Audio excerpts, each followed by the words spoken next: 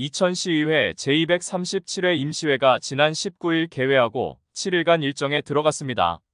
제1차 자치행정위원회 박노희 위원장은 20일 10시부터 회의를 진행했습니다.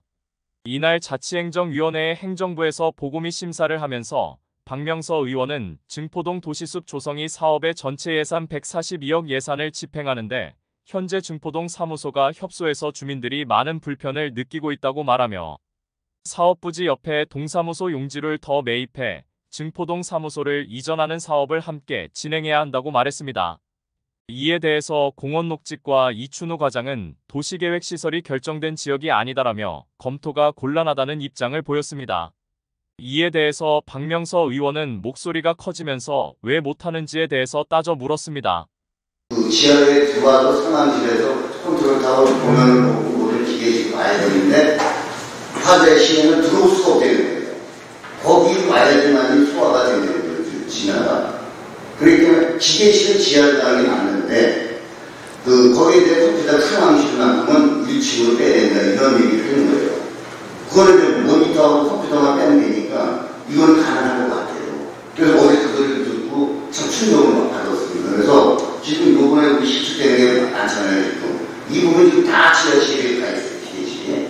그 기계실은 지하로 갈 수밖에 없어요. 대신에 상황실은 1층으로 한쪽으로 빼서 시에 진입할 수 있는 그렇게 해서 그, 그걸 아마 앞으로 이렇게 좀 중점적으로 공공시설부터 해서 2000시 전체가 바뀌어야 될 것 같아요, 이게.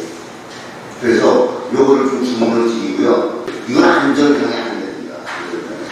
옥상에 젊은 친구들이 만약에 밤에 와서 캠핑을 하면 술, 술 먹고 이랬을 때는 안전상 이거는 고려를 해봐야 돼서 저도 그런 주문을 했습니다. 그러니까 그런 그 캠핑장 같은 경우는 안전에 대한 최우선식으로 하시고 증포동에 이제 우리 뭐야 도시를 조성하는데 우리 김재우 의원까지 얘기했지만 뭐 저희들이 설명 몇 때부터 그 진치음료가 안 됩니다 이렇게 얘기했습니다. 그런데 지금 뭐 얘기하는 그 지금 처음에 시작할 때 제, 제대로 있는 대로 그냥 편하게 이거 흘러가는 건데 이게 아니에요. 이게 이렇게 되면 도, 도시집의 주인을 봤을 때는 주인 땅이 아니 그 건, 건축이 안 된다는 게 많아요.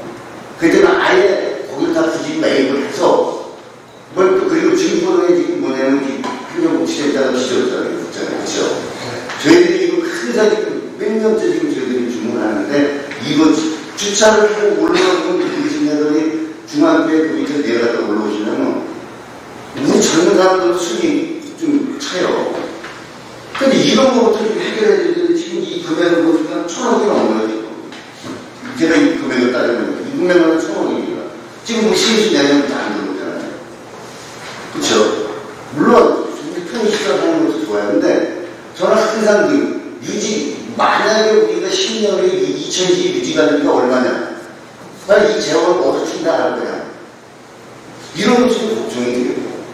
현재로서는 저희가 아직까지 뭐 이영원이 있고 뭐 저 뭐야 하이닉스에서 들어와서 그 어느 정도 여기가 있는데 지금 한 2년 정도는 안 들어올 그런 입장은 여기서 그렇게 생각을 되잖아요. 저희들이 하이닉스를 방문했습니다. 은혜에서 의장님을 때로. 근데 이제 잘하면 올해 정도는 연말 정도 되면 그 적자 부분은 털어갈 것 같습니다. 이런 얘기를 하는데 그러고 이제 내년도에 가서 또 그 적자 부분 보존하고 그럼 그렇게 보면 2년을 치러하고 들어온 수입이 수입이 없다고 생각을 하고 그래서 이제 이런 부분 걱정이 되고요. 그 그래서 이제 그 저는 그 질문을 보이시고 했는데 옆에 좀더 확보를 해서 왜냐면 질보동의 그 청사를 그 행정복지센터를 좀 해서 같이 좀 줬으면 하는 그런 생각이 듭니다. 지금 직원들의 그 거기가 공간이 너무 협소해요. 주민들이 바깥에서 대기해 있어요. 그럼 그런 부분 집에서는 다른 읍면동에 비해서 아니면 다들 크잖아요. 그럼 친구 시구동에 그러면 이런 기회에 같이 조성을 하면서 한쪽에 복지센터를 줘서 시민들의 여기 지하철에 상당히 좋습니다. 땅이 딱 좋아요. 지금 이거에서 그 옆까지만 하면 이거보다 좋은 저기가 자리가 없습니다. 그리고 앞으로 보니 나중에 지금 2010을 보면 나중에 부부도 되고 구청도 쓸 수가 있기 때문에 우리가 미래를 보고 이런 데 좀 해서 요번 차원에서 같이 이게 어쨌든 그 정도 페이지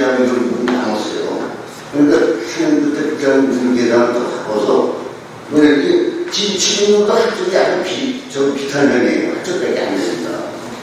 만약에 디자인에 무슨 시 이게 안 되잖아요. 그렇기 때문에 이거 차원에서 아예 그 일대를 좀 아직 그 건축물이 안 돼 있기 때문에 지금 이런 기회 놓치면 다음에 못 삽니다.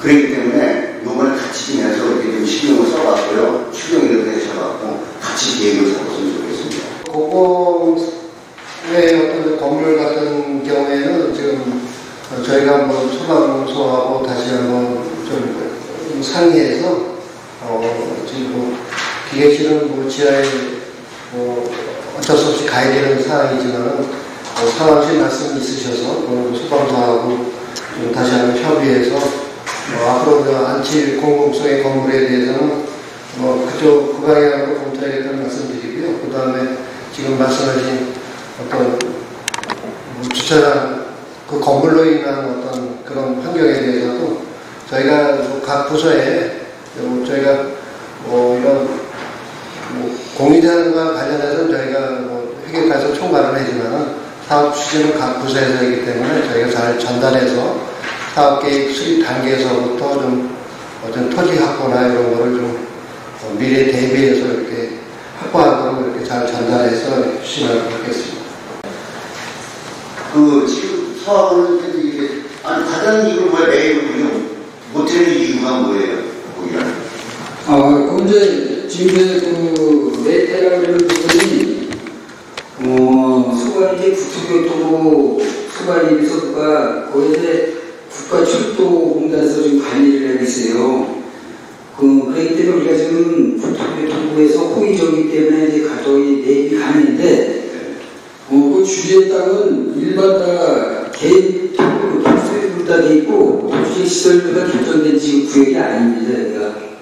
그렇기 때문에 우리가 그 입이 들어가고 토지를 매입할 수 있는 어, 그런 법적 근거가 없다 이거죠. 강제성도 없고. 강제성부터 사업이 아직 그래서 그 수용권을 얘기하시는 거잖아요. 지금 말씀하시는 거 우리가 사업 확장해서 수용을 해야 되는 거 아니에요. 지금 말씀하시는 게. 음, 자, 광고는 600만 원, 700만 원 주차장에서 합니다. 여기 그 정도까지는 아니잖아요. 지금 우리가 철도, 철도청 땅은 지금 싼 가격이 지금 내고, 이건 무조건 가야 된다. 이거는 뭐, 일단은, 우리 이천시 자산입니다. 그러면 미래를 봤을 때 중부는 등산소가 지금 현재 지금 현 위치가 맞습니까? 지금 과장님 보셨을 때? 우리 직원들이 변하는가? 우리 저 시민들이 사용했는데 이, 그 정도 인구의 그 등산소의 현 위치가 맞, 맞다고 보세요, 지금 과장님은?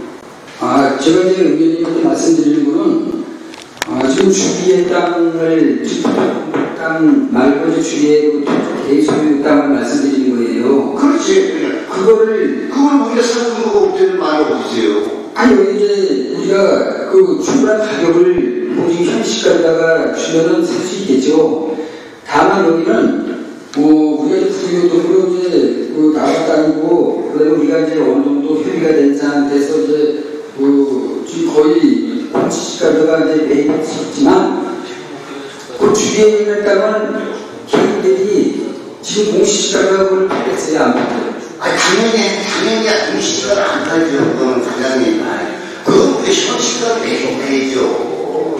자, 자, 이걸 하려면 한번 처음에 시작할 때 제대로 부지 설명을 공물을 안 치면 공물을 안 치면 제대로 안 쳐야 아니에요. 지금 이건 지치는 거 하나예요. 이게 지금. 이, 이, 만약에 안에서 무슨 유사시가 생존하고 화재라든지 그런 때, 이거 화재지랑 어떻게 할 겁니까? 그렇잖아요. 자, 모든 지금 지역 힘쓰는 거 하나는 게 어디 있어요? 그럼 우리가 처음에, 시- 그럼 우리 공무원에서 지금 제가 말씀드리는 거그 주위가 개발이 안 돼서 나중에 살면 딱살 수가 없어요. 거기다 건물 짓겠을 때 그거 어떻게 되냐는 얘기. 그러니까 요번에 할 때 공원부지를 설정을 같이 묶어서 해서 나중에 가서 80% 정도 나무 수용을 가도 되잖아요. 아, 의원님 저기 아, 의원님께서 네. 잠깐 이제 뭐 이해 저하고 이제 이해 부분 간 문제 같은데요. 어, 지금 거기를 살려면 도시 시설과가 협조 공시를 해야 되고 그러면 그것도 이제 시간이 된다. 그리고 뭐 장기적인 안목에서 봐야 되는 거고요. 우리가 지금 여기 사는 건 북한군 돌고 소관이기 때문에 사는 거예요. 부동산 소관 때문에 주- 주인은 개인 땅이기 때문에 우리가 이익이 되다가 그걸 사고 팔 수가 없는 지역이다 이거죠. 그리고 또 지금, 지금 현재는 그러니까요. 저희가 위원님 말씀하신 대로, 이거 저기, 자- 그렇게 검토를 한번 장기적으로 해보겠습니다.